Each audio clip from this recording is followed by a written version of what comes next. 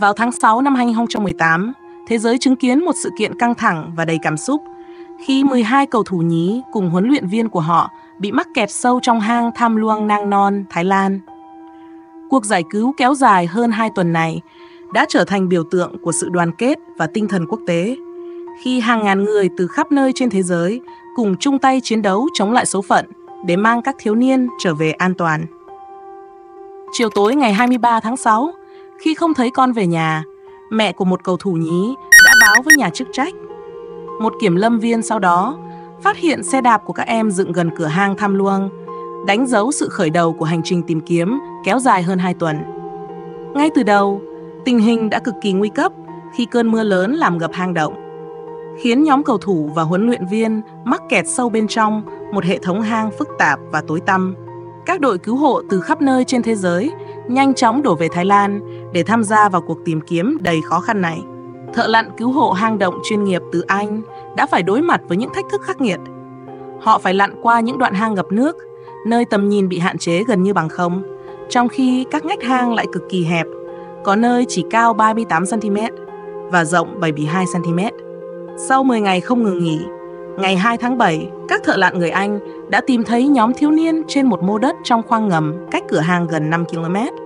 Việc phát hiện ra các em được coi như một phép màu khi thợ lặn John Volantin trong lúc lặn vào một ngách hang tối tăm thì dây bảo hộ của ông đã hết tầm. Ông buộc phải nổi lên và bất ngờ nhận ra 13 cặp mắt đang nhìn chằm chằm vào mình. Nếu sợi dây của Volantin ngắn đi khoảng 3 mét, có lẽ ông đã quay trở ra và không bao giờ trở lại ngách hang đó nữa, và số phận của các thiếu niên sẽ hoàn toàn khác. Niềm vui khi tìm thấy các cậu bé nhanh chóng nhường chỗ cho thử thách tiếp theo. Làm sao để đưa các em ra ngoài an toàn? Lối ra duy nhất đang bị ngập hoàn toàn trong nước, trong khi các cậu bé không biết bơi và đã quá yếu sau 9 ngày không có thức ăn, nước uống đầy đủ để có thể tự lặn ra ngoài.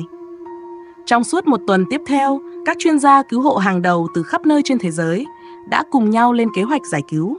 Hàng trăm máy bơm đã được huy động để hút nước ra khỏi hang, trong khi các thợ lặn cần mẫn kéo đoạn dây thừng dài hơn 4 km vào nơi đội bóng mắc kẹt. Họ bố trí các bình oxy dọc theo tuyến đường lặn và dạy cho các cậu bé cách sử dụng thiết bị lặn. Lãnh đạo chiến dịch cứu hộ không từ bỏ bất cứ phương án nào để cứu các cậu bé. Phương án tìm đường hầm hay khoan lỗ từ trên đỉnh hang ngày càng tỏ ra bất khả thi, trong khi việc chờ đợi đến hết mùa mưa để đưa các cậu bé ra ngoài cũng tiềm ẩn quá nhiều rủi ro, bởi những cơn mưa lớn sắp chút xuống có thể khiến khoang ngầm nơi các cậu bé trú ẩn bị ngập hoàn toàn. Ngoài mối đe dọa từ mưa lớn, đội cứu hộ còn phải đối mặt với một thách thức lớn không kém. Mức oxy trong hang đang giảm nghiêm trọng, có thể gây nguy hiểm tới tính mạng của các thiếu niên và thợ lặn. Đúng lúc đó, hy vọng được thắp lên khi nỗ lực bơm nước khỏi hang đạt kết quả khả quan, cùng với việc chặn thành công hai con suối lớn chút nước vào tham luông. Mực nước trong hang giảm đáng kể, thúc đẩy đội cứu hộ tìm đến phương án táo bạo nhất, cho các em thực hiện hành trình lặn ra khỏi hang. Theo phương án này, hai thợ lặn sẽ hộ tống từng em ra một. Các em được mặc đồ bảo hộ và đeo mặt nạ trùm kín mặt để thở dễ dàng hơn dưới nước. Các cậu bé được sử dụng thuốc chống hồi hộp để giúp giữ bình tĩnh, không hoảng loạn trong quá trình lặn. Sau đó được hai thợ lặn hướng dẫn lặn qua những ngách hang tối tăm và chật hẹp nhất.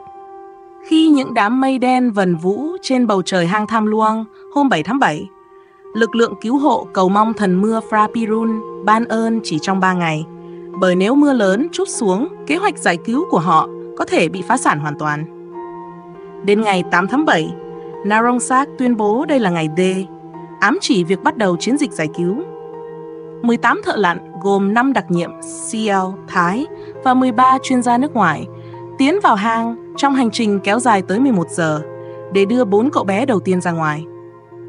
Các em ngay sau đó được đưa đến bệnh viện Chiang Rai để được kiểm tra và chăm sóc y tế. Một đặc nhiệm CEO cho biết trong các đồ họa trên báo chí, hành trình giải cứu nhìn có vẻ đơn giản, nhưng thực tế đây là nhiệm vụ gian nan nhất mà họ từng đối mặt.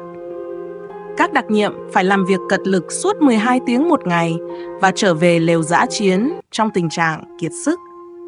Narongsak cho biết, với các nhiệm vụ giải cứu như vậy, các thợ lặn thông thường phải được nghỉ ngơi ít nhất 20 tiếng để hồi phục sức lực trước khi bắt đầu đợt tiếp theo. Nhưng họ không có nhiều thợ lặn tinh nhuệ có thể tiến vào hang, trong khi thời gian và cơn mưa không cho phép họ nghỉ ngơi quá lâu. Ngày đến trưa 9 tháng 7, đợt giải cứu thứ hai bắt đầu, cũng với những thợ lặn đã tham gia chiến dịch ngày trước đó. Việc thảo luận, rút kinh nghiệm đã giúp các thợ lặn rút ngắn đáng kể thời gian giải cứu. Trong ngày thứ hai, họ chỉ mất 9 giờ để đưa tiếp 4 thiếu niên ra ngoài. Trong hang lúc này còn 4 cậu bé, một huấn luyện viên và 4 thợ lặn đã ở cùng họ kể từ khi được tìm thấy.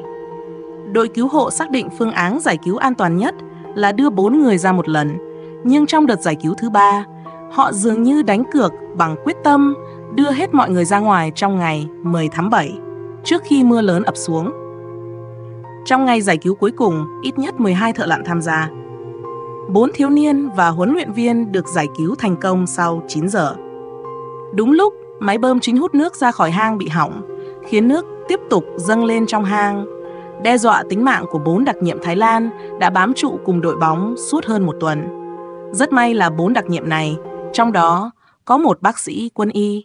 Cuối cùng đã thoát thành công khỏi hang Tham Luang lúc 21 giờ, kết thúc một trong những chiến dịch tìm kiếm cứu nạn quy mô lớn nhất trên thế giới.